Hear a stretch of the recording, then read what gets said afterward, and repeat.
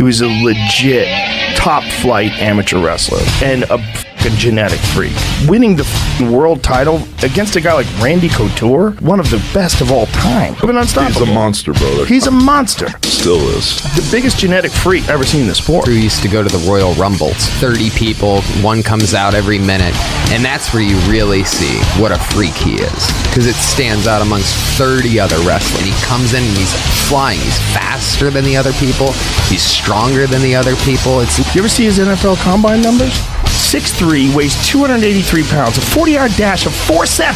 4'7 at 283 pounds. Jump 35 inches vertically and 10 feet from the standing long jump. So hurling almost 300 pounds, 10 feet. He can bench 225 pounds for 30 reps. 30 reps. Crazy. Dude. Oh, look, it's me. Astounding.